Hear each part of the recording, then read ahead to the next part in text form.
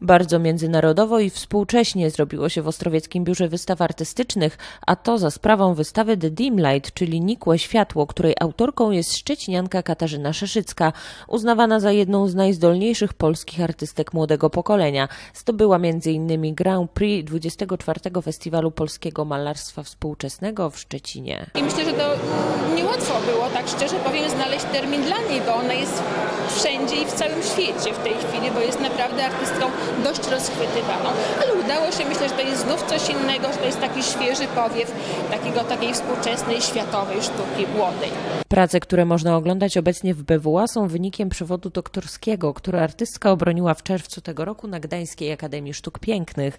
Materiał powstawał dwa lata. Nikłe Światło to także wynik uczestnictwa artystki w międzynarodowym projekcie artystycznym w Indonezji oraz w Japonii. Indonezja miała zupełnie inny charakter, bo była to rezydencja mobilna, czyli przyjechaliśmy praktycznie całą Jawę kończąc e, na Bali, a Indonezja, e, Japonia była stacjonarna. Przebywając na rezydencji w Japonii, Katarzyna Szeszycka skupiła się na wulkanach, które stanowią centrum życia lokalnej społeczności. Praca nad obrazami miała charakter nie tylko artystyczny, ale również badawczy. Szukałam mm, możliwości dostępu do e, archiwów e, szefa meteostacji, to znaczy dokładnie taki dostęp znalazłam i ten materiał powstał na bazie e, właśnie archiwów e, powstających jeszcze od lat 40., czyli to nie tylko były e, piękne zdarzenia e, naturalne, ale też i piękna fotografia po prostu. W pracach artystki ważną rolę odgrywa światło, a raczej badanie, jak będą wyglądać te same przedmioty przy różnym natężeniu światła. Stóp, który jest brązowy,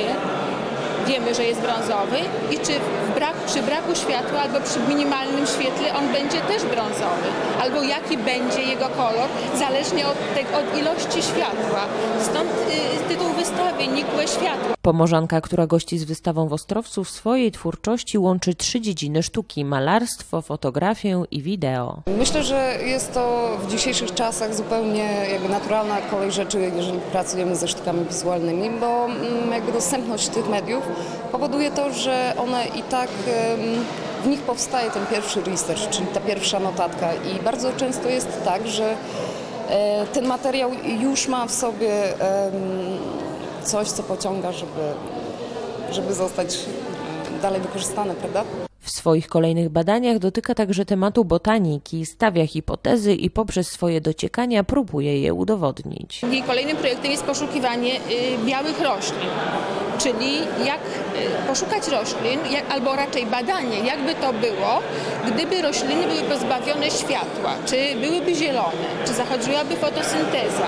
Stąd nawet na tych niektórych pracach widzicie Państwo, że to jest poszukiwanie białych roślin. Sukces Katarzyny Szyszyckiej na arenie polskiej, a także międzynarodowej to zasługa nie tylko umiejętności, ale również siły charakteru, bez której nawet najzdolniejszy artysta nie będzie miał siły przebicia. Kaśka Szyszycka rzeczywiście poprzez e, tą swoją wywrotową zupełnie działalność i przez to, że e, nie uznaje kompromisów, to być może też jest e, jakimś motorem tak naprawdę napędowym dla jej twórczości. Wernisaż zgromadził sporą rzeszę ostrowczan, którzy mimo wyjątkowo upalnej pogody przybyli przybyli do Biura Wystaw Artystycznych podziwiać sztukę współczesną.